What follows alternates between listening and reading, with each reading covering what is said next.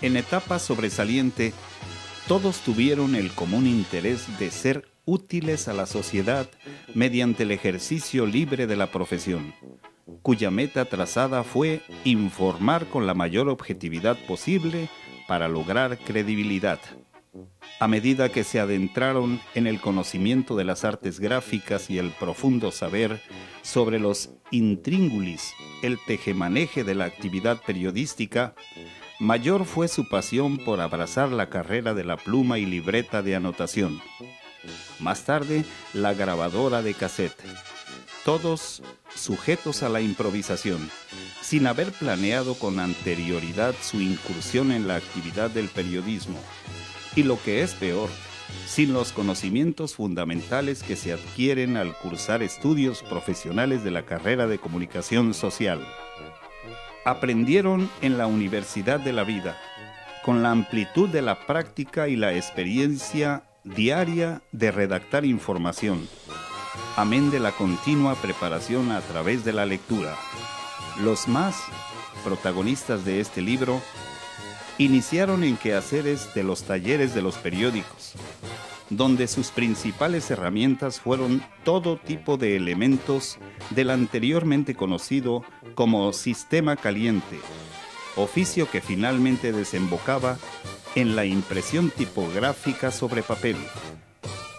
Vino entonces la fotomecánica, para dar paso a un proceso de impresión de mejor calidad del periódico. Luego el offset, y así sucesivamente el avance tecnológico hasta nuestros días. Todos provienen de clase media baja. Y se diría que algunos hasta de muy baja. Hijos de trabajadores de la construcción, agricultura, comercio, milicia y uno huérfano en tierna infancia. Ello los impulsó a abrirse camino en el inhóspito transitar por la azarosa vida con la realización de diversos trabajos. Con mayor suerte, pero el empeño por delante, hicieron estudios, aunque solo dos de ellos, hasta lograr licencia profesional. Época dorada para el periodismo de Nayarit, según el decir del protagonista más añoso. Trato sublime por parte del gobierno estatal por periodos bajo la égida del PRI, cuyos mandatarios supieron valorar, respetar y muchas veces premiar los esfuerzos de los reporteros.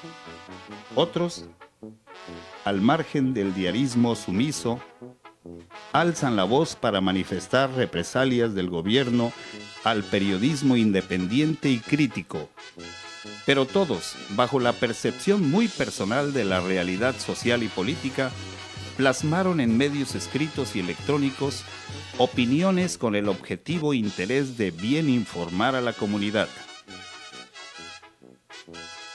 Cabe aquí la sentencia de Julio Scherer. Los periodistas tenemos el azar de nuestro lado. Tarde o temprano todo se sabe. Partícipe principal, uno de ellos, en el paro laboral de reporteros más allá de la mitad de la década de los setentas, al diario Observador de Nayarit, inconformes por trato abusivo y despótico por parte de la gerencia, la posición rebelde de los periodistas, que aprovecharon el viaje para exigir aumento salarial, tuvo enorme trascendencia en la opinión pública por ser un acontecimiento inédito en un medio de comunicación de la época que se recuerde, jamás de los jamases ha ocurrido en Nayarit acontecimiento de tal naturaleza en lo que a un periódico se refiere. Adicionalmente, se debe consignar la primicia lograda por uno de los protagonistas de nuestra edición libresca sobre la mexicanización de la industria tabacalera, misma que tuvo un importante asiento en nuestra entidad, con base en la investigación, el reportero obtuvo la información de la nacionalización de la industria del tabaco en nuestro país por el presidente Luis Echeverría, primero que cualquier otro medio de comunicación, incluso nacional. Todos abrevaron ideologías políticas y por consecuencia tuvieron militancia partidista. Unos en el izquierdista Partido Comunista Mexicano y otro de muy parecido signo político, Partido del Trabajo. Los más en el entonces señalado oficialista Partido Revolucionario Institucional. Ello, así como su reconocimiento público de representantes sociales por su calidad de periodistas, los empujó a buscar cargos de elección popular. Los menos lo lograron, los más quedaron en el intento, invadidos por un fuerte tufo de frustración. Hoy rendimos tributo a aquellos compañeros periodistas que ya no están entre nosotros y con orgullo homenaje a los que todavía nos prodigan enseñanza en la materia. Son José González Reina, José Rogelio Zúñiga Escobedo, Francisco Javier Ocampo Mondragón, Francisco Cruz Angulo y Emilio Valdés Hernández. Con todos ellos trabé amistad grande.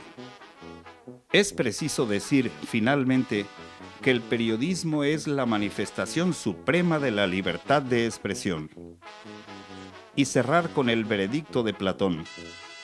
Nadie es más odiado que aquel que dice la verdad.